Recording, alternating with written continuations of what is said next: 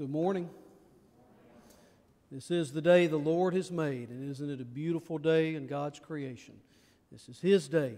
Welcome to your Father's house. Would you pray with me, please? Oh God, our Creator, we notice more on a day like today, don't we? Your hand, your marvelous handiwork in your creation. We thank you, God, for the beauty of this snowfall. We pray that you would help us to spend some time outside today, not just to get into our garage, let down the garage door, go inside. Help us to spend some time appreciating and enjoying the wonder of your creation. We pray, God, that you would accept our praises, that you would change us because we've come to church, and that we would know beyond a shadow of a doubt that we're loved forever and ever. In the name of Jesus. Amen. Please do me a favor and sign the little yellow attendance card. Uh, sign up for the Wednesday night meal. This week we're having uh, chicken parmesan with either red meat or white sauce, pasta salad, dessert. Uh, sounds delicious. On Tuesday we're volunteering at Memphis Union Mission.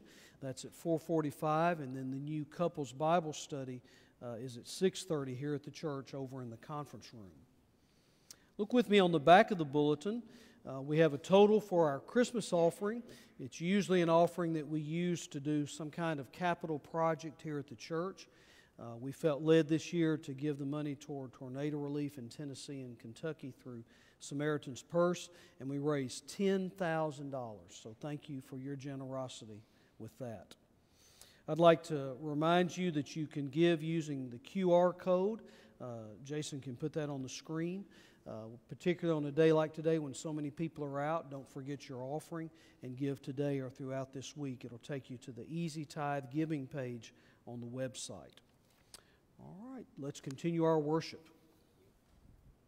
Please, so that we can praise the Lord through music.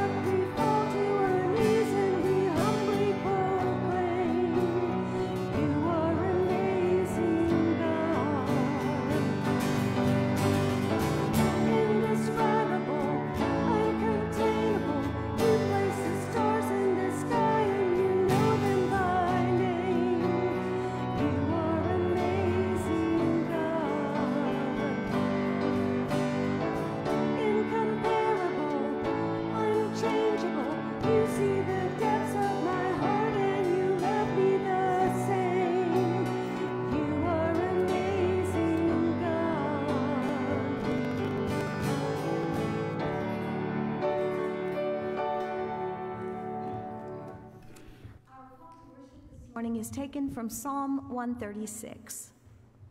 Give thanks to the Lord, for he is good.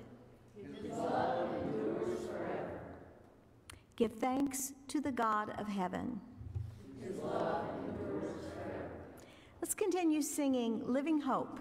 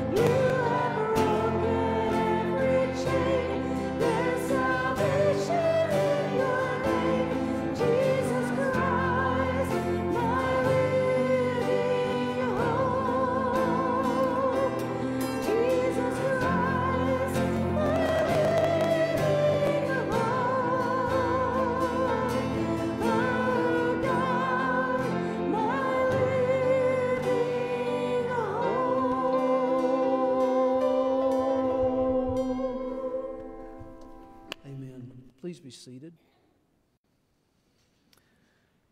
Our mission emphasis this morning is life choices.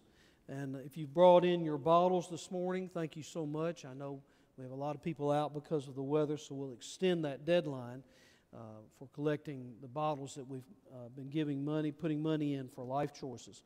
Uh, we're going to show a video this morning. Hope it touches your heart as it has mine.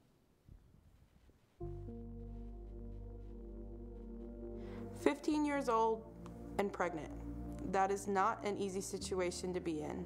No one wants that for their daughter or for themselves.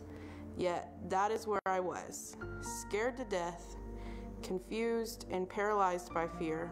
It was the darkest time in my life. Looking back, the word darkness seems to be the best way to describe it. So many people around me were saying if you don't have an abortion, it will ruin your life. People that I looked up to, even teachers and friends, were telling me that an abortion was the only option. But even at 15, I knew it wasn't right. At my lowest point, when I had no one else to turn to, I turned to God. And the next thing I knew, I was at Life Choices. The staff at Life Choices treated me so different from everybody else. They listened to me, they loved me, and when I said I wanted to have my baby, they fully supported me. I got to have an ultrasound and see her precious little heart beating. I took parenting classes and birthing classes and learned all that I could about becoming a good mom. I really don't know if I would have gotten out of the darkness without life choices. God used these special people in a big way in my life. Then my beautiful baby girl Kaden was born. I even went back to Life Choices after she was born and got a basket filled with great stuff. When they said I couldn't, I graduated high school and even graduated from college. Soon after that, I met the most incredible man, and now we're married. We've created a loving home for Kaden to grow up in, the word most often used to describe Kaden is sunshine. She's a light in my life, of course, but she is a light and joy to so many people. Only God could have done it, bringing me out of the darkness and into the light. And now I've got this little bit of sunshine by my side. I know what life choices did for me and for Kaden, and I am a huge advocate for them. I send people to them all the time. There's nowhere better for a young girl or a woman in an unplanned pregnancy to go. Nowhere else will provide all that Life Choices does with the education, support, love, and encouragement. We are so grateful. My name is Emily. My name is Kaden. And we choose and cherish life.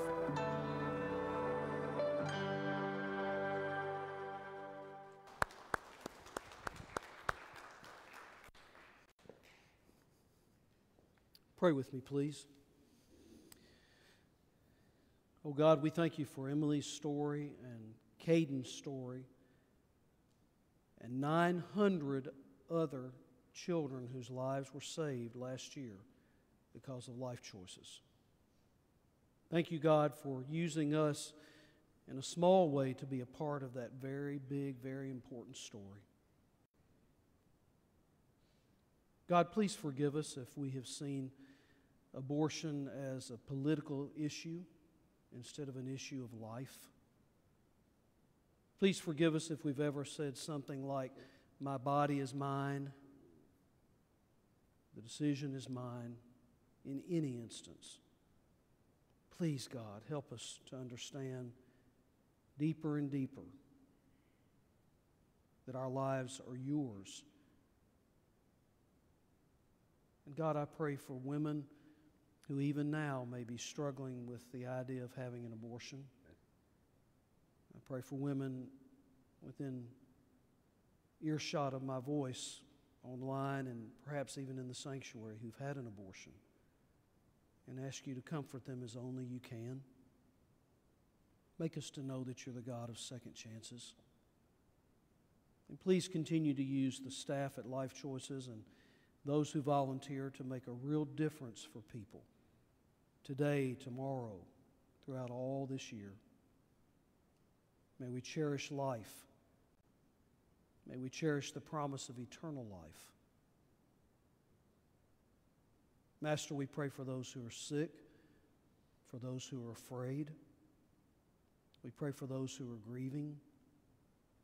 We pray for first responders, doctors and nurses, firefighters, police officers, sheriff's deputies, so many on the front lines, the men and women who wear the uniform of our armed forces.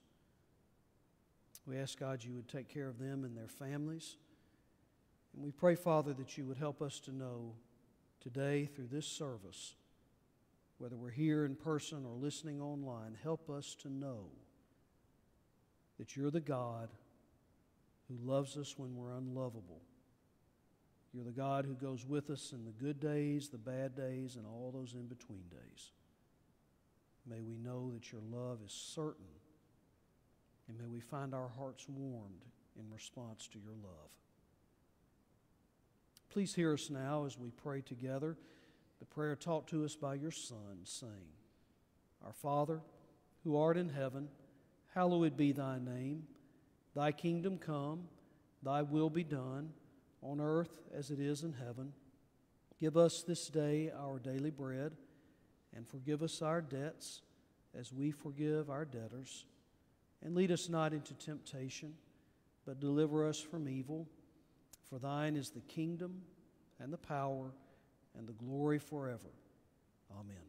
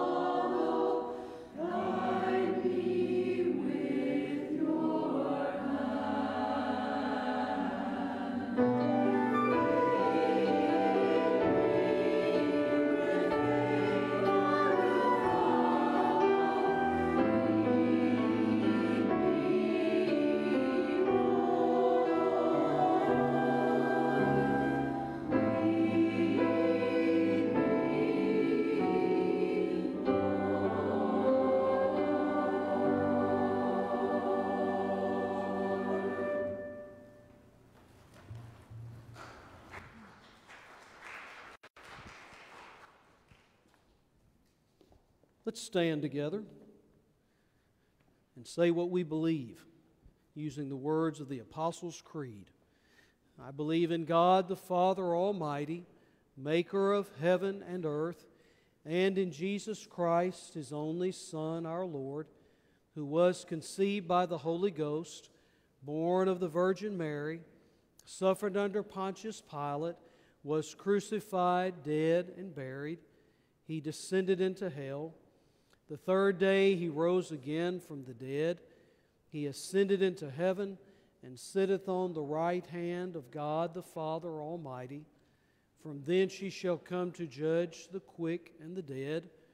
I believe in the Holy Ghost, the one holy and universal church, the communion of saints, the forgiveness of sins, the resurrection of the body, and the life everlasting. Amen.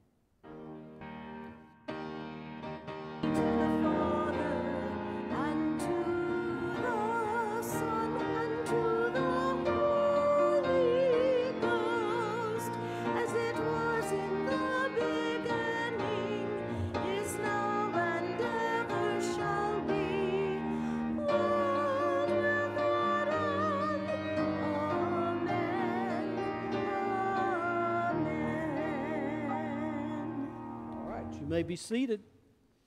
Well, good morning. Hey, did y'all remember that Cliff and Ruth have been on vacation? They went out of the country during the Christmas holidays, so I really don't know who's going to be on Faith Mountain. Levi, you come knock and let's see who's on Faith Mountain. Thank you, bud.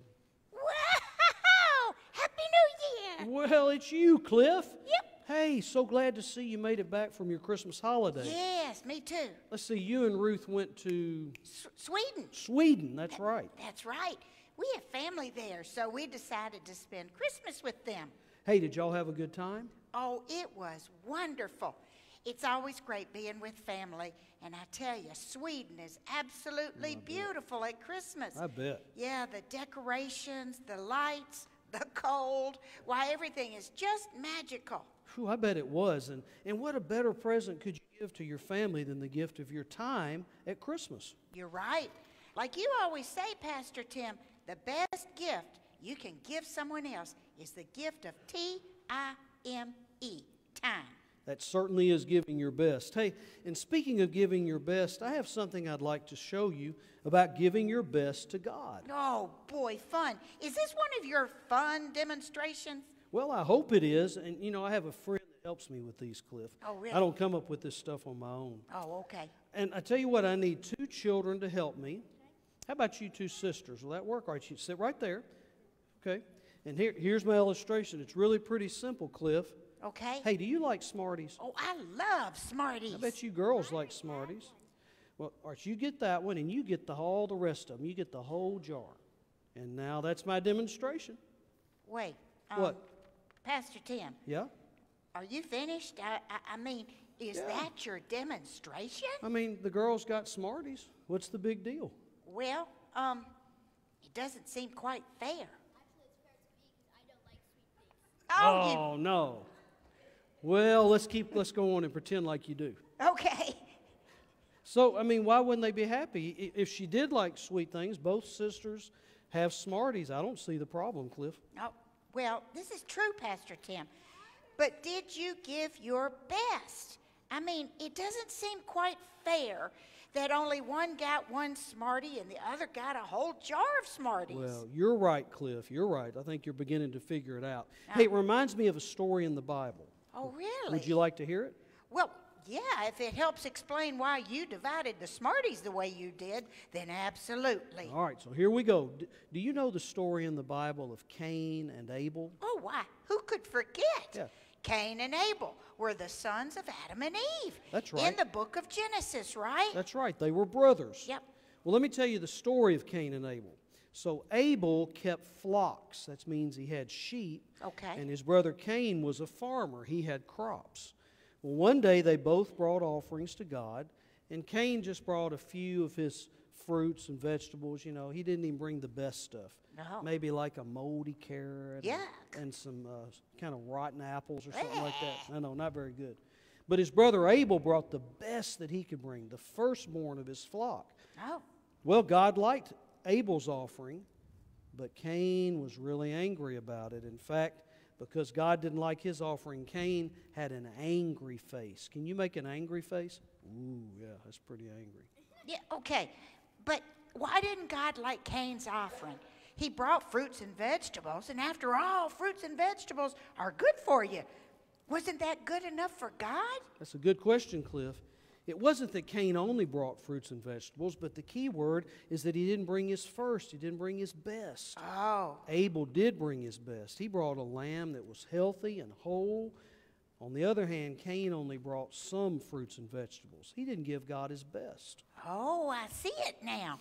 You showed us how we would feel if we were only given one Smartie instead of a whole jar of Smarties. That's it. Yep, and that's how God felt, right? That's right, Cliff. You got it. God wasn't happy because Cain hadn't given him his best. Yeah. But God was happy because Abel did give God his best. Okay, so one more question, Pastor Tim. Okay.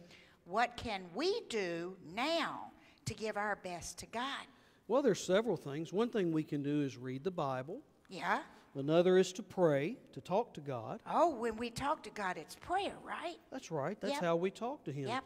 And God likes it when we spend time with Him in church, like we've done today. Yes. And like when we give our offerings, see how faith is holding the piggy bank? So when we give our piggy bank offering and the adults put offerings in the plates, Okay. God likes it when we do it with a cheerful heart, when we want to support His church. I see. Well, so Pastor Tim, how are you going to divide the Smarties now? How will you give your best now? All right, here's what I'm going to do. First of all, Cliff, I know you like Smarties. How about that? All right, boy, you Thank took you. that quick. How about you, sweetheart? Okay, y'all got yours.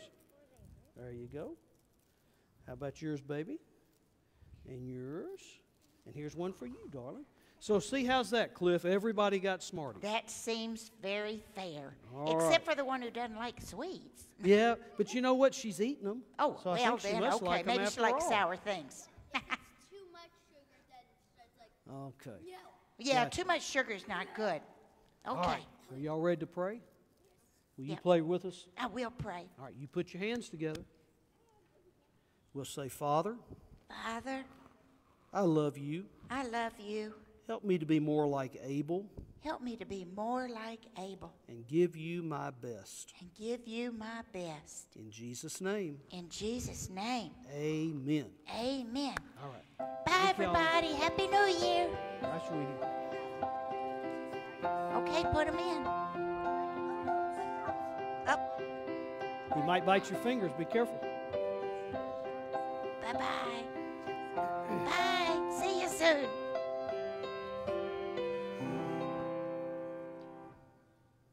Let's continue our worship now through giving our tithes and our offerings.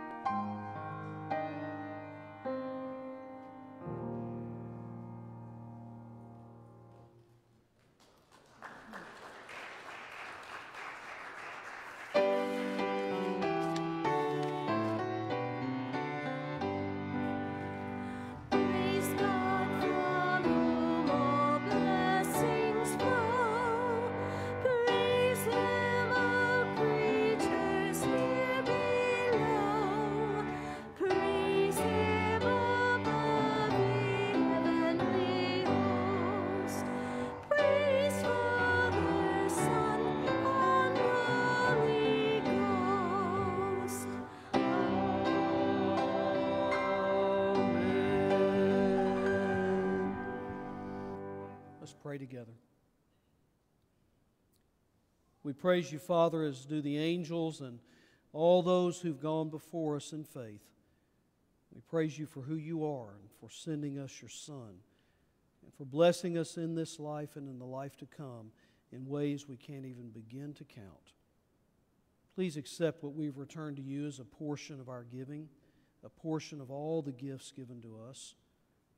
We pray, God, that we would do it cheerfully, that we would do it in gratitude, and that we would continue at the top of this hill to serve you and love you. In Christ's holy name, amen. Standing, and we'll join together in singing Jesus Calls Us.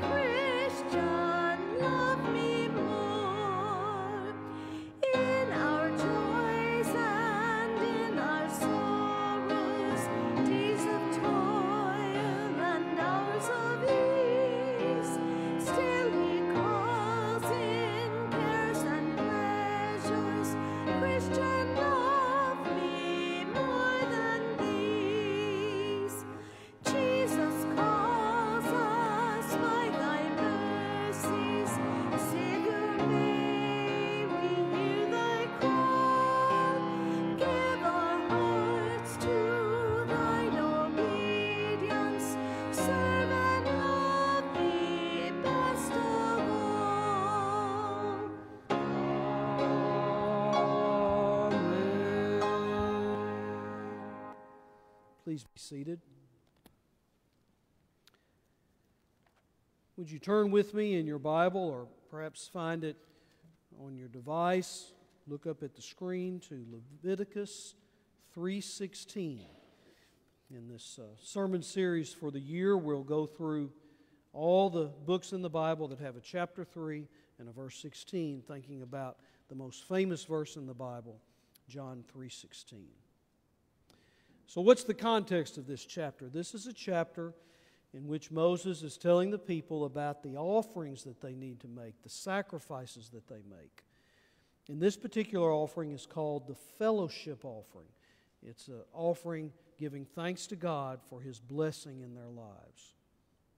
Let's listen to this one verse. The priest shall burn on the altar the fellowship offering as food an offering made by fire, a pleasing aroma. All the fat is the Lord's. And we're going to flesh out what that means. Why is it that the fat portions are the Lord's? Our New Testament lesson is 2 Corinthians 9, beginning with the sixth verse and reading through the 11th, as Paul talks about giving God our best. Remember this whoever sows sparingly will also reap sparingly, and whoever shows generously will also reap generously. Every man should give what he has decided in his heart to give, not reluctantly or under compulsion, for God loves a cheerful giver. And God is able to make all grace abound to you, so that in all things, at all times, having all that you need, you will abound in every good work. As it is written, He has scattered abroad His gifts to the poor, His righteousness endures forever.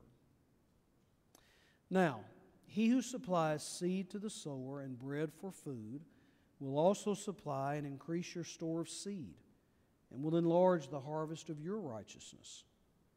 You will be made rich in every way so that you can be generous on every occasion. And through us, your generosity will result in thanksgiving to God. This is the word of the Lord.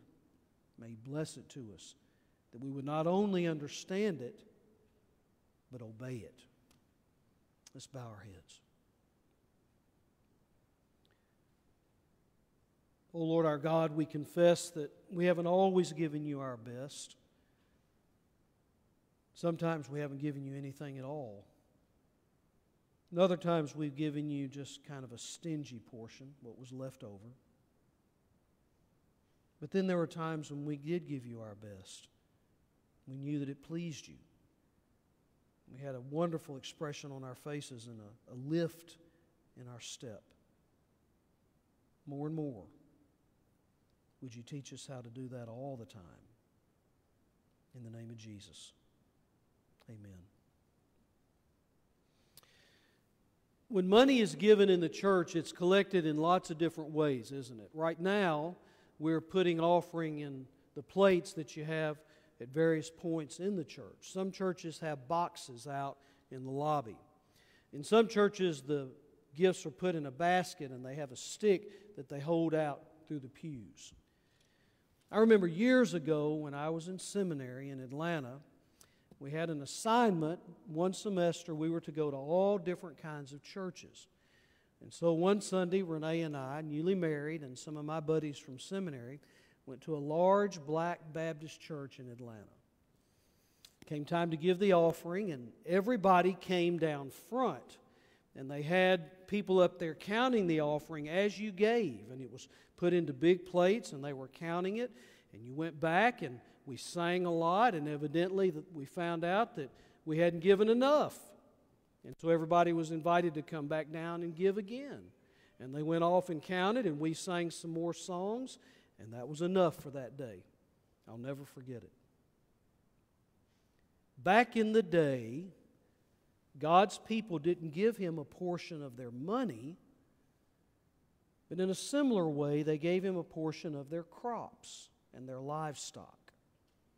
The way that it worked is that you brought a portion of your crops, a portion of your livestock to the tabernacle, the place they worshiped when they were traveling through the wilderness, then later to the temple. And the priest got to eat some of that, and then the priest sold some of that for his own living and to take care of the upkeep of the temple. It's an interesting system. There were five types of sacrifices that they used in Old Testament times, five types of offerings that they gave. The first one was the burnt offering, and this was a bull, a ram, or a male bird, and it was given as an atonement for unintentional sin.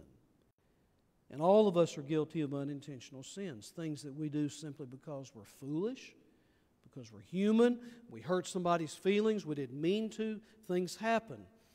Today, we're forgiven of those sins because Jesus forgives all of our sins when we trust Him. Back in the day, the unintentional sins were taken care of with a burnt offering. The second offering was a grain offering. So this would be grain, flour, even baked bread. Uh, if you can imagine in your, in your mind's eye, can you smell fresh baked bread? Is there anything that smells better than that? We uh, didn't have donuts this morning. The donut shop was closed. So uh, Tina Donnan went over in the kitchen and she just started baking some uh, cinnamon bread just on her own, a coffee cake for all of us. You could smell it all through the church. Well, this kind of offering back in the day was given as an expression and gratitude for the goodness of God. We still need to give these kinds of offerings. God is so good to us, and part of the reason we give offerings every Sunday is to express our gratitude. The third offering was the sin offering. This was a female lamb, a female goat. For poorer people, it was a dove or a pigeon, and this was for forgiveness of their sins, the sins they committed intentionally. And it's still true today. Sometimes we set out to do something wrong. We've made up our mind we're going to do it. Come hell or high water, we're going to do the wrong thing. These sins today are forgiven by the blood of Jesus. When we trust Him, we're forgiven. The fourth kind of offering was the guilt offering. And this again was a ram or a lamb from your own flock or one that you bought. and it was atonement for sin requiring restitution. Sometimes when we sin, we need to make it up to people, and this was the sin covered in this offering. And then the last one is the one that we're talking about in Leviticus 3:16. It's the fellowship offering. This could have been any animal from a herd or a flock, and it was an act of thanksgiving, the kind of offerings we still give today in gratitude and thanksgiving for what God's done for us. Which takes us to Leviticus 3:16. The priest shall burn them, that is, the fellowship offerings, on the altar as food, an offering made by fire, a pleasing aroma. All the fat is the Lord's. Now, to have a good smelling steak, you got to have a little fat in it. Last night, our youngest son Josh grilled hamburgers for us and hot dogs and some Polish sausage. And man, the smell of that is so wonderful. Gets you ready for that meal. So when you listen to the Bible, also try to do a little smelling. Try to use all of your senses, not just your sight, not just your hearing, but the smell. So think about the smell of a steak that's grilling. There were some graphic, explicit instructions given in Leviticus 9 about how they were to do this. First of all, the person who's bringing the offering is to lay his hand on the head of that animal and slaughter it at the entrance to the tent of meeting. Now imagine if we had to do that out in the lawn of the church before we came in here to worship. Imagine what that would be like. Some of you are pretty squeamish, and I think you'd have a hard time killing the animal before you sacrifice it. It reminds me of a story of one of the sweetest old ladies in my first church. Her name was Sarah Maiden. And when she moved to that little town back in the 40s, she was a city girl. She'd never been to a little town. And she married and went to the grocery store one morning because she wanted to fix fried chicken for her husband. So when she called ahead and told him she wanted a chicken, she pulled up at the store, and on the back floorboard of her car, they put a chicken. Legs tied up, string wrapped around the beak. The thing was alive, and it freaked her out. And she called her husband and she said, Bill Maiden, you better get home and kill this chicken if you want supper. It's so foreign to us, this idea of slaughtering something. We just go to the meat counter, don't we? Then the priest shall sprinkle the blood against the altar on all sides. Think about that. Sacrificing is a bloody thing. The blood was literally sprinkled all over the altar, just as it symbolizes the sprinkling we have when we're baptized the blood of Jesus coming down upon us. He's to bring a sacrifice made to the Lord by fire. All the fat that covers the inner parts or is connected to them. Which reminds me of that story that Cliff and I were talking about in the puppet show. It's about old Cain and Abel. Cain brought some of the fruits of the soil. He knew the offering given to God for a sacrifice should have been something better, but instead, he gave God the leftovers. Might have been an apple that was mealy. Might have been a head of lettuce that had gotten shriveled. But his brother knew better. And Abel brought fat portions from some of the firstborn of his flock. And the Lord looked with favor on his offering, but on Cain and his offering he did not look with favor. Throughout the Bible, from Genesis all the way to Revelation, there's a thread that forgiveness of sins comes through the shedding of blood. In the Old Testament times, it was the shedding of blood of an innocent animal. In New Testament times and in our time, it's the shedding of the blood of our innocent Savior, Jesus. And y'all, it's really very simple. God's people were instructed to give Him their best, not their leftovers. Their best. And in the same way that we should not drop a five in the plate, as the old country song says, when we spend more, much more than that on other things, the ancient Jews did not give God moldy grain or an animal with defects. If we're dropping a five in the offering plate, you can't even eat lunch today for $5. We're not giving God our best if we do that. Which leads me to this collection that Paul's talking about in 2 Corinthians 9. And our Christmas offering is similar to that offering that Paul was collecting for the poor in Jerusalem.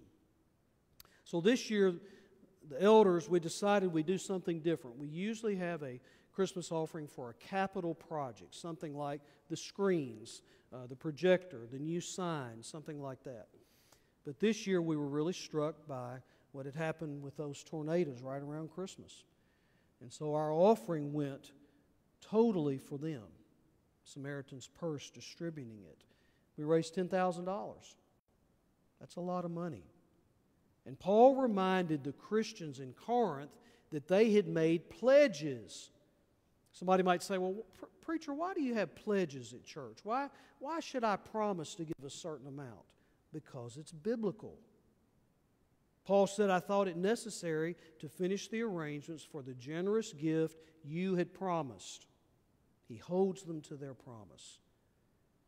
let me ask you have you made your pledge to the church? Obviously, some of you haven't because we haven't received all the pledge cards back. So if you haven't made your pledge yet, would you please do that? Bring it this next Sunday, bring it Wednesday night, put it in the mail. It's a way for you to know definitely, God, this is what I know I need to do, and I'm promising you that I'll do it. Paul says this Remember, whoever sows sparingly, think about seed, will also reap sparingly. Whoever sows generously will also reap generously. So think about it like this. If you like turnip greens like I do, or radishes, or mustard greens, and you went out in your big garden and you just threw out a few seed, it takes a whole lot of turnip greens to make a mess. You're not going to get much. And the same thing is true in your spiritual life. If you just sow a little bit, if you're dropping a five in the plate, or God forbid you're not giving anything to the work of Christ, you're not going to get anything back, or you're going to get very little. Each one of us, Paul says, should give what he has decided in his heart to give, not reluctantly, not under compulsion, for God loves a cheerful giver. Now, let me give you an analogy. All of us like to be on the winning team.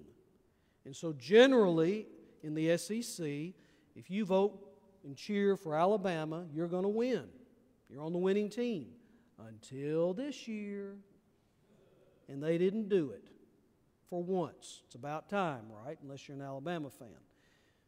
And you cheer for that team. You're so excited. Well, in a much bigger way, if you're on God's team and you're cheering for God's team and you're giving toward His work, there will be a smile on your face. You'll never have a losing day. Never. What I want you to take away from this sermon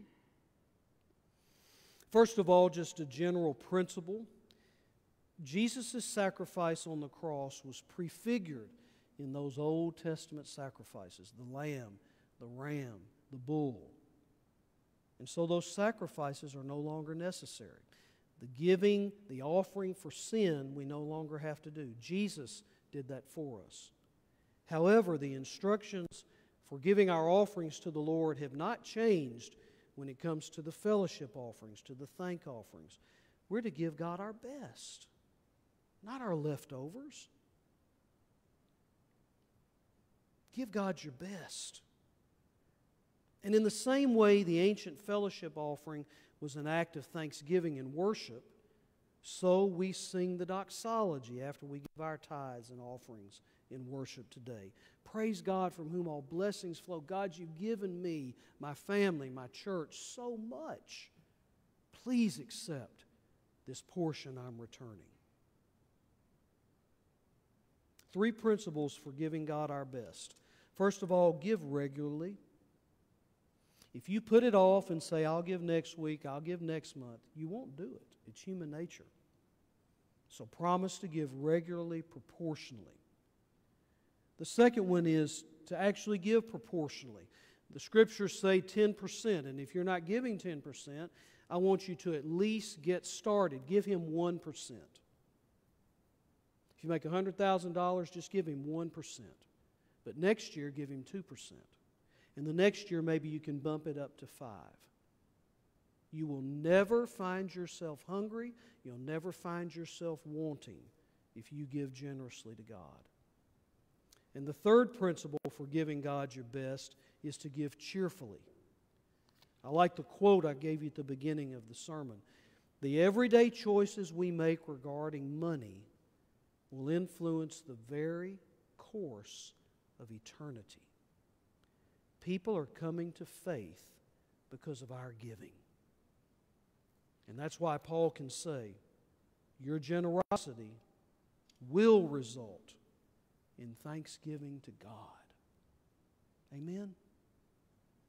Let's bow our heads.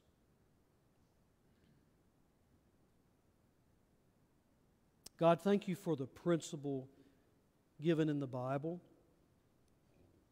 Summed up in the words of Jesus, it is more blessed to give than to receive. And since all of us have received so very much, help us to give generously, that some other folks may know about your grace and come to love your church as we do. In Jesus' matchless name, amen.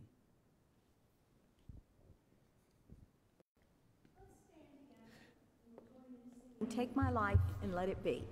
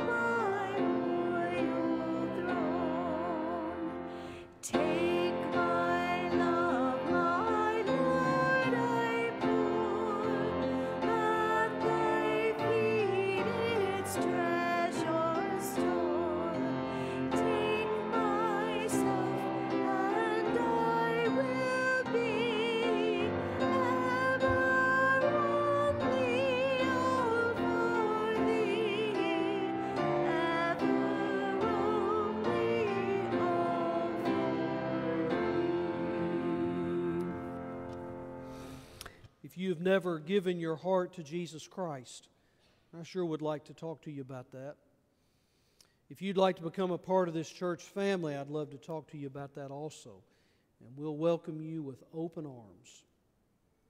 May God's grace, mercy, and peace be with you and those you love, now and forever. In the name of the Father, and of the Son, and of the Holy Spirit. Amen.